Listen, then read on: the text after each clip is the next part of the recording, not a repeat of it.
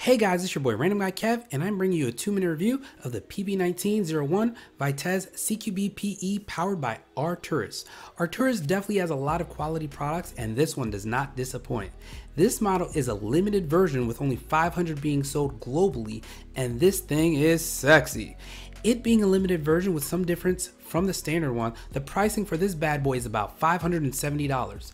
There's another model similar to this one, which is the carbine version and sold for about $620. You can find these at an authorized Arcturus dealer. Straight out of the box, you don't need to do anything to this. For a price point like this, this thing shoots laser beams and comes with everything you need.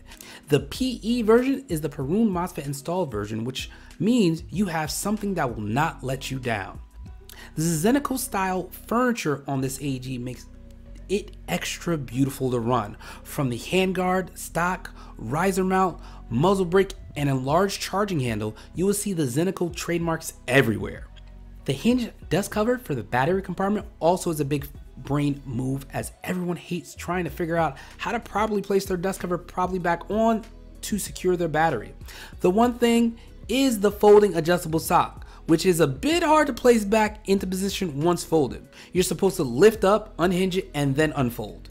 Don't try and force it or it will break. Took me a couple tries before I finally got it. This small compact AEG was doing everything I wanted it to do.